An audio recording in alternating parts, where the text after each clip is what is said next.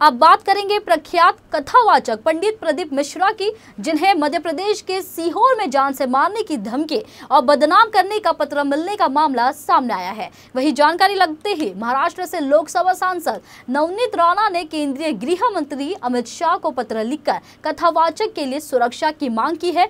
कथावाचक पंडित प्रदीप मिश्रा अपनी कथा और रुद्राक्ष महोत्सव को लेकर देश और दुनिया में प्रख्यात है। उनकी कथाओं में लाखों श्रद्धालुओं की भीड़ उमड़ती है। वही कथावाचक प्रदीप मिश्रा के सीहोर स्थित कुबरेश्वर धाम में रुद्राक्ष लेने और दर्शन करने के लिए रोज़ाना बड़ी संख्या में श्रद्धालु पहुँचते हैं। रुद्राक्ष महोत्सव के दौरान श्रद्धालुओं की संख्या लाखों में पहुँच जाती है। कथावाचक को धमकी भरा पत्र मिलने की सूचना लगते ही श्रद्धालुओं में भी नाराज़गी है। बताया गया है कि कथावाचक पंडित प्रदीप मिश्रा को जान से मारने की धमकी और बदनाम करने का जो पत्र मिला है, उसमें किसी का नाम और मोबाइल नंबर नहीं है।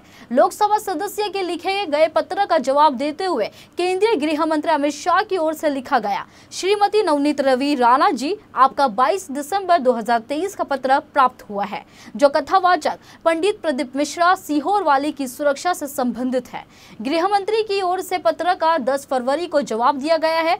धमकी भरे पत्र के मामले में कथावाचक प्रदीप मिश्रा की कुबरेश्वर धाम समिति के सदस्य समीर शुक्ला ने बताया कि लोकसभा सदस्य को जानकारी लगी तो उन्होंने केंद्रीय गृह मंत्री अमित शाह से सुरक्षा की मांग की है।